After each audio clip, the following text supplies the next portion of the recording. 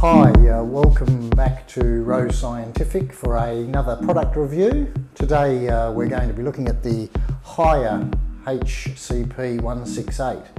It's a CO2 incubator, um, but before we look inside that, just like to remind you that if you want to look at any other uh, product reviews that we've done, feel free to look uh, on our website and you'll find some links to other products that we've looked at in the past.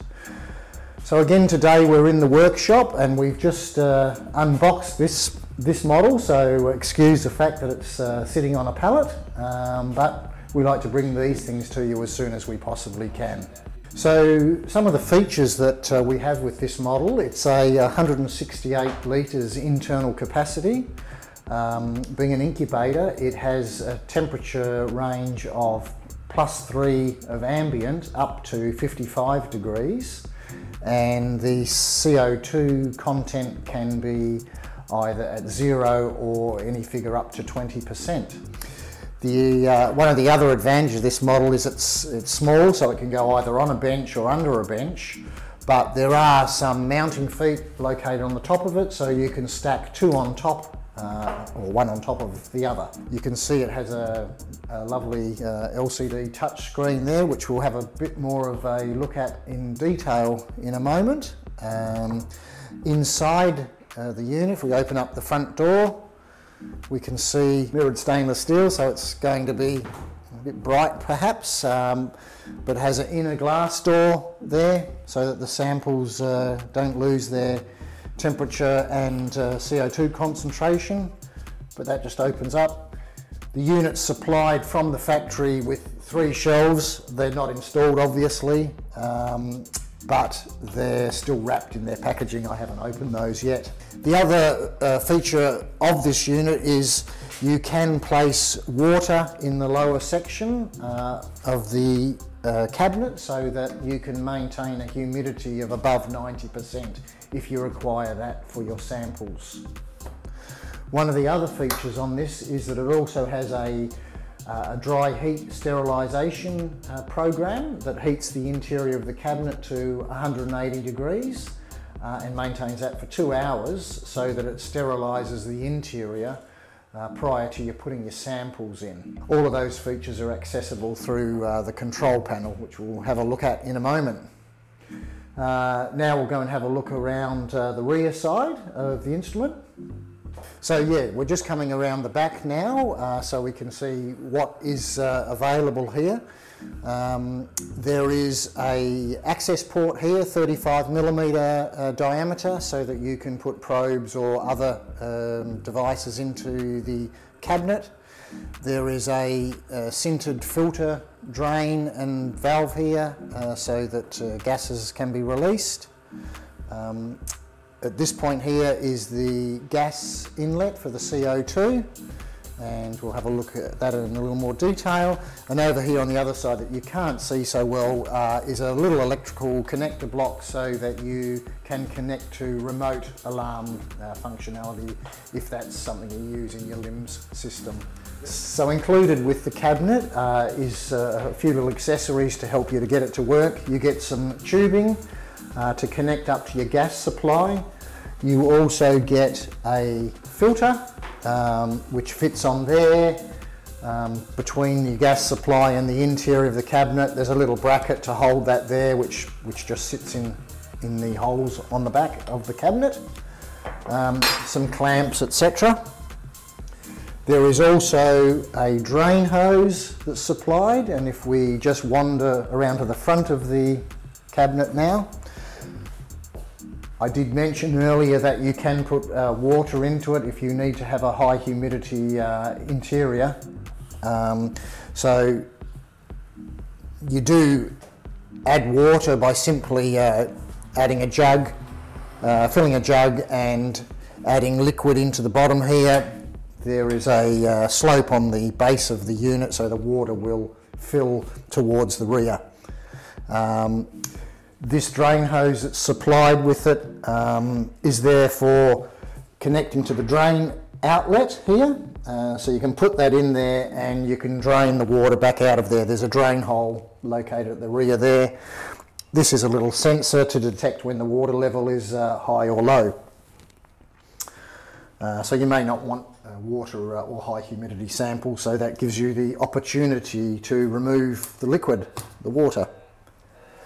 Interesting thing that's happened just now as we're talking is the door alarm has come on. Uh, so that means the door has been open greater than 30 seconds. Um, we're getting a little buzzing sound and an alarm on the front there. Now we can silence the alarm uh, manually by pressing the silence button here, but in this case the unit has detected that the door is closed so it's cancelled uh, the alarm function. What we can see, um, looking at the temperature there, so because we've had the door open, we've lost some temperature.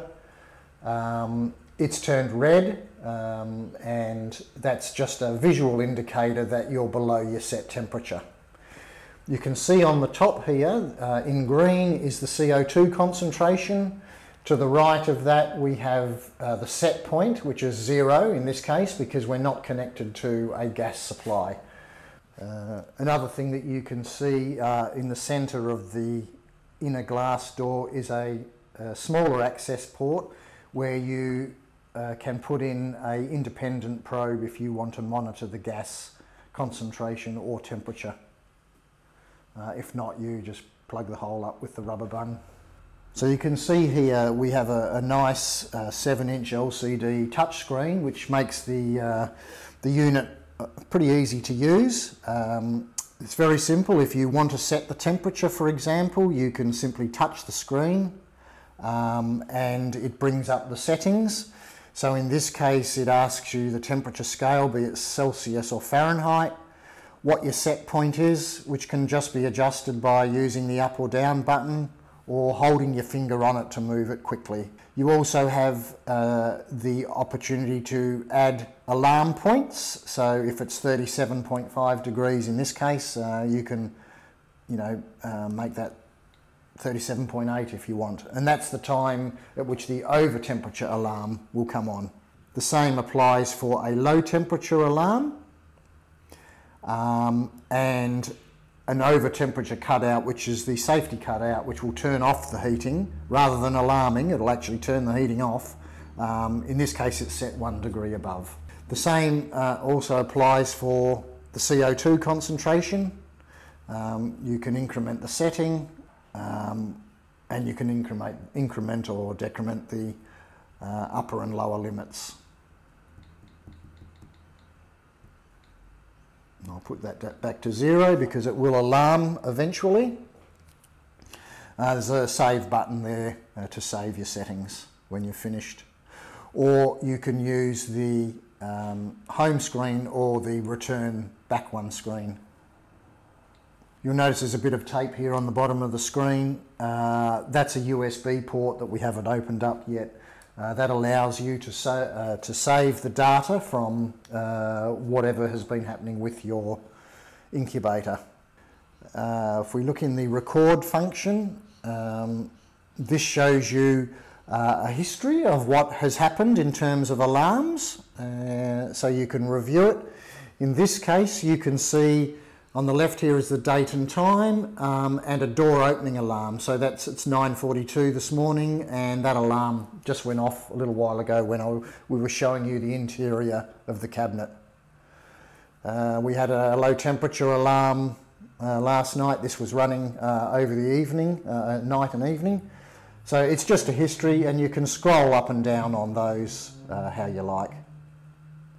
So that's all records. You have the opportunity just to view the temperature uh, related alarms or the gas related alarms or door ajar, door open, or if there are any sensor failures that it may have um, determined, or if there's been a power cut um, of any note.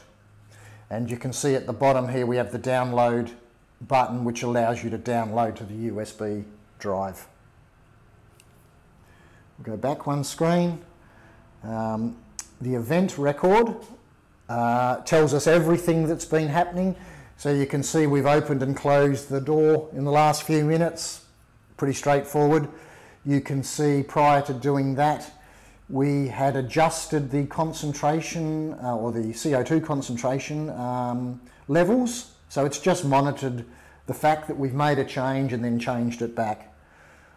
Um, it tells you that it was 1.7 and the new value was 0.5. Um, so that was just when we were playing with that in the last demonstration. Again, that can be split down into more detail, just showing either door openings, settings, um, sterilisation, and we'll have a look at that in a sec. And the run state just shows us the current state of some of the key components, the PTFE filter, the CO2 sensor and the fan. In this case, they uh, have been running, or installed is probably a better word, not running, installed 271 days out of a recommended 3,650, so 10 year life. And go back to the home screen again. If you want to look at the uh, settings, we have quite a few settings there available. Uh, and I'm not going to go through those in great detail with you. Um, but again, this is what we saw before, how to set the temperature and CO2. Um, this one is about the sterilisation process, um, and this is where I say uh, it, uh, it tells you the steps to go through to do the 180 degree sterilisation, which essentially is opening the door, removing your samples, putting some water in the base uh, as we did, uh, closing the door up and then hitting the start button. And the system will then go through and uh, heat up the chamber to 180 degrees, maintain it at two hours, and then cool it down. Um, and whilst that's occurring, the screen will tell you what's happening. Okay, the next thing we see is the uh, button called Initial, and that's just about the initial setup um, for the unit. So you're setting up the day and time, the language, um, the alarm volume, operating mode. So that's uh, either uh, what it calls ordinary, which is normal, and authorized. If we hit authorized, it will require user access with PIN numbers and setup of uh, those operators. Uh, the time delay for the alarm to come on, the volume of the buttons or the screen as you click it. Um, we can see screen brightness, so we can, you know, dim and brighten the screen, whatever's suitable. We can ask the screen to hibernate um, from 11 o'clock at night to 6 in the morning. Um, same as the screensaver and auto logout applies to the time for users um, IDs to automatically log out and uh, the time setting before the door alarm will come on. It's always important to hit the save button at the end of all of that. Um, this unit also has some added functionalities. It's Wi-Fi compatible. Um, right now we don't have it set up. I don't have a network in this room that can access it, but it does allow you to um, connect this machine to your uh, to your wireless net uh, internet, and then you can download a software program onto your phone or an app onto your phone, and you can monitor some of the key um, factors that are happening on the unit remotely. That is, users is simply there for user setup in this case, it won't allow me to enter that right now because we're not in the we we're not in the mode where it's looking for user information because we're in the uh, not in the authorized field, which you may have remembered from the previous screens, and we have some genuine uh, general uh, information about the unit, serial number, etc. Okay, what we go to the next button, we can see the graph and this uh, shows us what's been happening. In this case, this is the temperature, but we can swap it to the CO2 if we wanted to monitor that. We have uh, four tabs across the top. In this case, we're monitoring the last two hours of performance, but we have the option to look at 24 hours, seven days and a month. So if we look at uh, 24 hours, uh, we can see a bit of a spike here in the temperature. Um, that's when I had set it to uh, 55 degrees yesterday. But it just gives a quick visual indication um, that's a bit of a safety or security issue so that the user can be comfortable that everything has been uh, running whilst they haven't been present um, and running exactly how it was set. And then obviously the longer span of seven days and one month. Um, we also have the you know same thing for the CO2. Again, we've got no data there because there's no CO2 connected, and we've been on uh, the 0.0 setting. Along the bottom, we have uh, some more buttons. This one is the sterilisation um, commencement uh, program button. So we press that, we get to where we were. Um, we saw that a couple of minutes ago, how to set up the sterilisation and then the start button. Again, we're not going to start that one right now. We have an opportunity here to write messages um, and send messages, um, which is a bit of an interesting feature.